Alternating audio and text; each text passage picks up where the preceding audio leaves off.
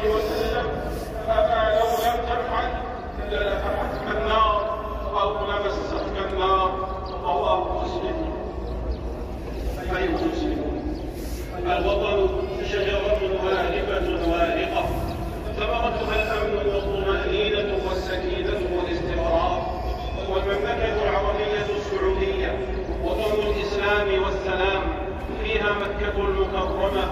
المشرفة المعظمة المحرمة المبجلة أثر إبراهيم عليه السلام وحلفه ودار نبينا محمد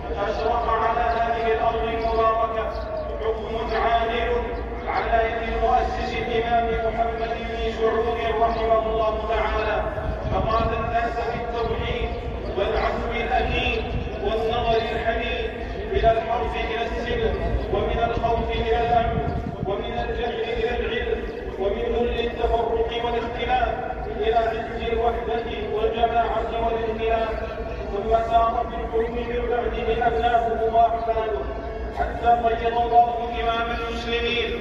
الملك عبد العزيز بن عبد الرحمن آل سعود فظهرت في الحكم حكمته وفي الشورى نظرته وفي العدل قوته وفي العطاء رأفته ورحمته.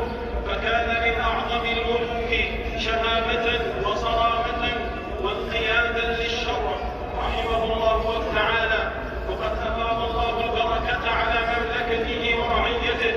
ثم حمل الراية من بعده أبناؤه البررة الذين ساروا على نهجه حتى أضحت المملكة مضرب المثل في أمنها ووحدة صفها وانتظام شملها واجتماع كلمتها وتلاحم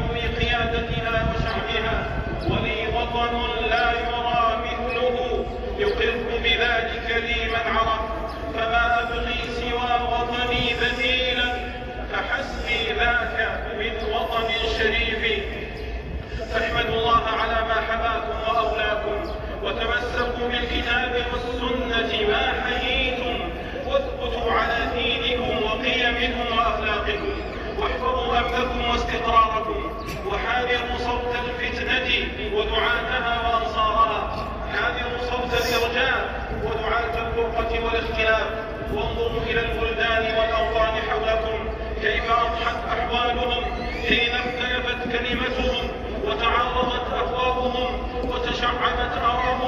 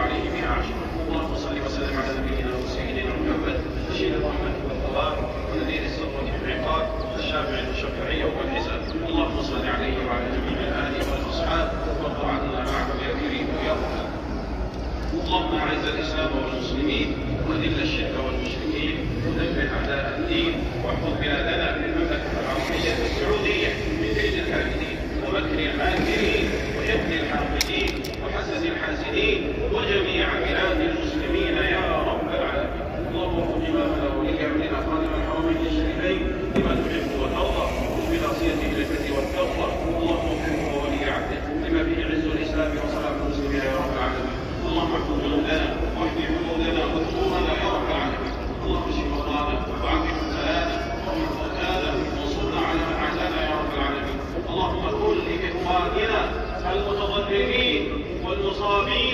Holy Man